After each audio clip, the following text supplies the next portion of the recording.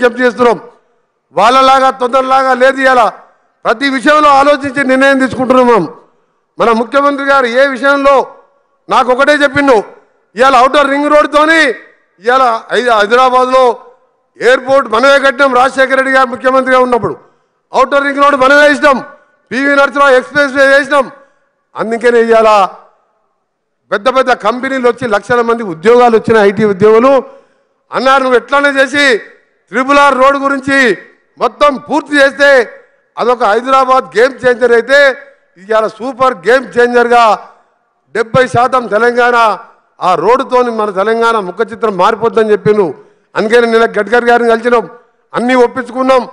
ముఖ్యమంత్రి గారి నాయకత్వంలో త్వరలోనే టెండర్లు పిలిపించి రీజనల్ రింగ్ రోడ్ కూడా పూర్తి చేస్తామని వచ్చే మూడు నాలుగు సంవత్సరాలు దాన్ని కూడా పూర్తి చేసి తెలంగాణ అభివృద్ధిలో ఉంటాం. ఈసారి అరవై నాలుగు సీట్లే కాదు. వచ్చేసారి నూట ఇరవై నాలుగు సీట్లు రావాలి సీట్లు పెరిగితే. నిన్న మన కిషన్ రెడ్డి గారు అంటున్న ఒక మాట ఇవాళ పేపర్లో చూసిన.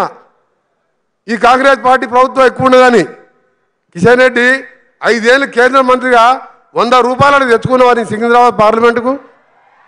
నువ్వు చేతగారి మినిస్టరు. మూసీ గురించి ఆలోచించినవా? కేంద్ర ప్రభుత్వం నీ చేతుల్లో ఉన్నది.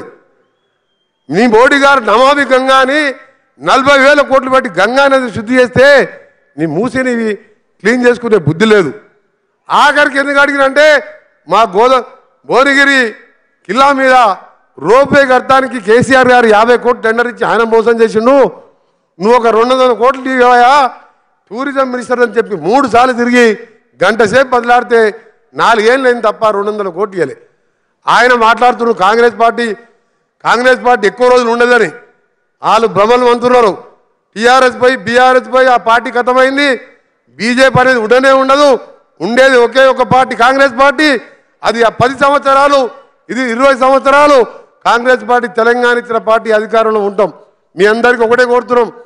వాళ్ళ తొందర లేకుండా ప్రతి ఒక్క పేదవారికి చదువు ఉండాలని ఇవాళ బడ్జెట్లో ఇవాళ మీరు చూసి ఎక్కడ లేని విధంగా పది శాతం ఇవాళ బడ్జెట్లో విద్యాశాఖ కేటాయించి పేదవారికి చదువు అందించాలని ఇవాళ టీచర్ రిక్రూట్మెంట్ కానీ ఇలాంటి కార్యక్రమాలు తీసుకొని పోతున్నాం.